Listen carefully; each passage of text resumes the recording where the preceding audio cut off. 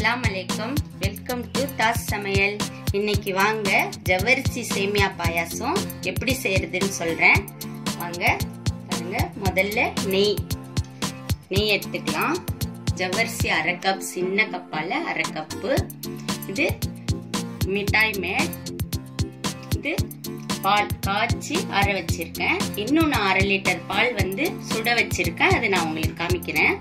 சேமியா சர்க்கரை அரை கப் இது நட்ஸ் பாதம் முந்திரி திராட்சை பூசணிக்காய் விதை. இது வந்து மேலே வாசனைக்கசரம் ஏலக்காய் தூள். அவ்வளோதாங்க இப்போ வாங்க பார்க்கலாம். ஃபஸ்ட்டு நெய் போட்டுட்டு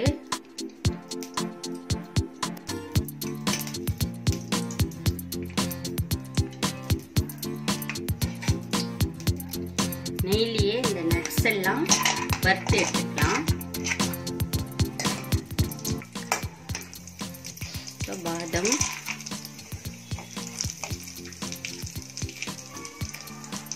பூசணிக்காய் திராட்சை. திராட்சை நல்லா வீங்கி பால் பாலாக வர வரைக்கும் பொன்னிறமாக வறுத்துக்கோங்க.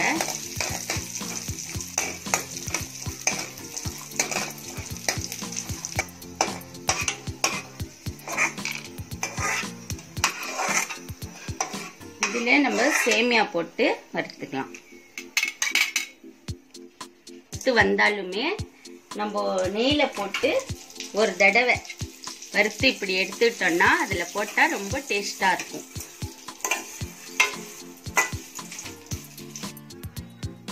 பாருங்க இப்படி வறுத்து எடுத்துக்கலாம் சேமியா. நான் இப்போ ஒரு பாத்திரத்தில் இதை நான் ஒரு கப் பாலை நல்லா கொதிக்க வச்சு அதில் ஜவரிசி சேர்த்துருக்கேன். பாருங்க. ஜவ்வரிசி ஒரு ரெண்டு நிமிஷத்துல வெந்துடும்.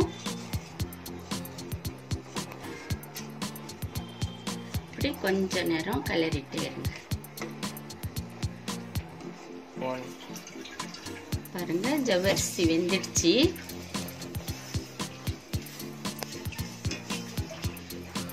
பாருங்க இந்த அளவு வெந்துடுச்சு. இப்போ நம்ம சேமியா சேர்த்துக்கலாம் இது கூட.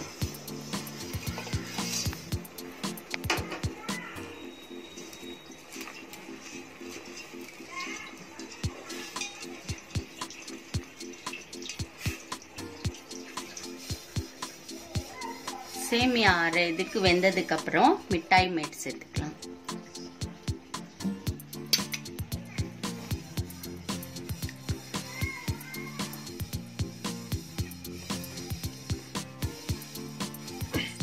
அரை சர்க்கரை எடுத்து வச்சிருந்தது இந்த சர்க்கரையை சேர்த்துக்கலாம்.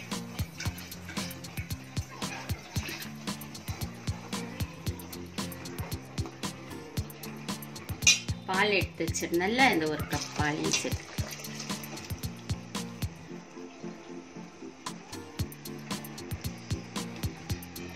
இது ஒரு ரெண்டு நிமிஷம் கொதி வரட்டும்.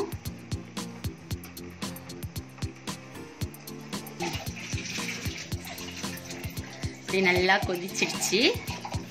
பாலும் சேமியாவும் சேர்ந்து வந்துடுச்சு. பாருங்க. இப்போ ஏலக்காய் தூள்.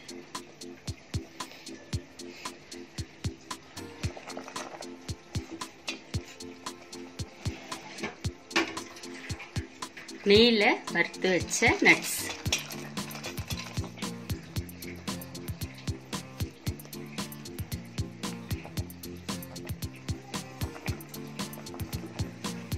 அவ்வளோதாங்க இப்போ ரெடி ஆயிடுச்சு. தண்ணியாகவும் இருக்கக்கூடாது. கெட்டியாகவும் இருக்கக்கூடாது. சேமியா ஜவ்வரிசியும் சேமியாவும் எடுத்து இப்படி லிக்விட் ஆட்டும் வரணும். இந்த பாருங்க. இப்படி வந்திருக்கு. கொஞ்சம் ஆறுனாலும் இது கெட்டியாகும் இன்னும் கொஞ்சம்.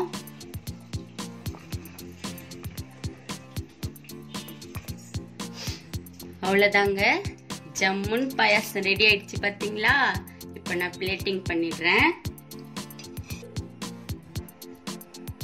பாருங்க பிளேட்டிங் பண்ணிட்டேன்.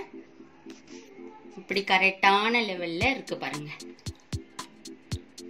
இந்த ஆறு நாளும் இப்படியே இருக்கும்.